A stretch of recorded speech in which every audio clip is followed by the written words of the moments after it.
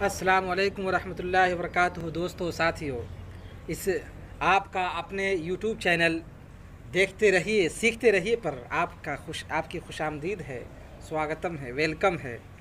اس سے پہلے ہم لوگوں نے حضرت اسماعیل، حضرت ابراہیم علیہ السلام کے بارے میں اور قربانی کے بارے میں مختصراً معلومات حاصل کی۔ آئیے آج عقیقہ کے حوالے سے حدیث سماعت کرتے ہیں۔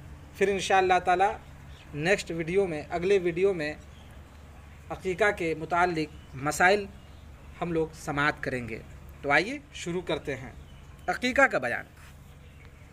اس کے متعلق چند احادیث سماعت کریں۔ حدیث۔ امام بخاری نے سلمان بن عامر زبی رضی اللہ تعالیٰ عنہ سے روایت کی۔ کہتے ہیں، میں نے رسول اللہ صلی اللہ تعالیٰ علیہ وآلہ وسلم کو فرماتے سنا کہ لڑکے کے ساتھ عقیقہ ہے۔ اس کی طرف سے خون بہاؤ یعنی جانور ذبح کرو اور اس سے اذیت کو دور کرو یعنی اس کا سر منڈوا دو۔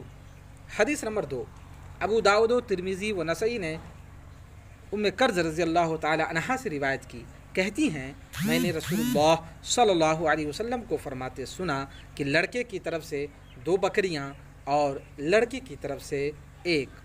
اس میں حرج نہیں کہ نر ہوں یا مادہ۔ حدیث نمبر تین، امام احمد و ابو داود و ترمیزی و نسئی سمرہ رضی اللہ تعالیٰ عنہ سے راوی کہ حضور اقدس صلی اللہ علیہ وسلم نے فرمایا، لڑکا اپنے عقیقہ میں گروی ہے۔ ساتویں دن اس کی طرف سے جانور ذبح کیا جائے اور اس کا نام رکھا جائے اور سر مونڈا جائے۔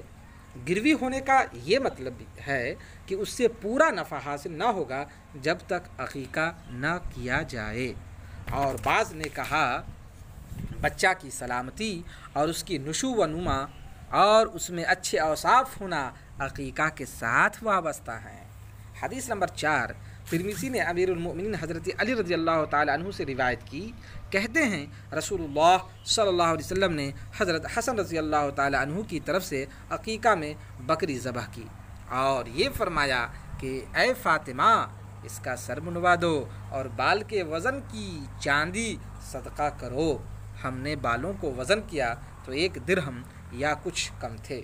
حدیث نمبر پانچ، ابو داود ابن ماسا ابن ماجہ، ابو داود ابن عباس رضی اللہ تعالیٰ عنہما سے رابی کہ رسول اللہ صلی اللہ علیہ وسلم نے امام حسن و حسین رضی اللہ تعالیٰ عنہما کی طرف سے ایک ایک مینڈھے کا عقیقہ کیا اور نسائی کی روایت میں ہے کہ دو دو مینڈھے۔ ٹھہری ٹھہریے رکیے رکیے، ابھی جائیے گا نہیں۔ کچھ حدیثیں اور باقی رہ گئی ہیں۔ حدیث نمبر چھ، ابو داود و بریدہ رضی اللہ تعالیٰ عنہ سے راوی کے کہتے ہیں کہ زمانے جاہلیت میں جب ہم میں کسی کے بچہ پیدا ہوتا تو بکری ذبح کرتا اور اس کا خون بچہ کے سر پر پوت دیتا۔ اب جبکہ اسلام آیا تو ساتویں دن ہم بکری ذبح کرتے ہیں اور بچہ کا سر منواتے ہیں اور سر پر زعفران لگا دیتے ہیں۔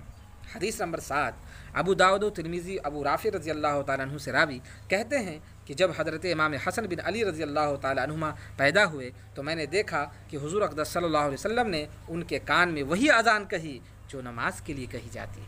حدیث نمبر آٹھ، امام مسلم حضرت عائشہ رضی اللہ تعالیٰ عنہ سے راوی، کہتی ہیں کہ رسول اللہ صلی اللہ علیہ وسلم کی خدمت میں بچی لائے لائے جاتے، حضور ان کے لیے برکت کی دعا کرتے۔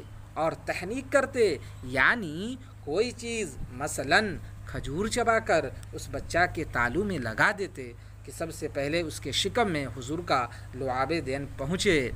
تو آج کی آخری حدیث سماعت کرتے ہیں۔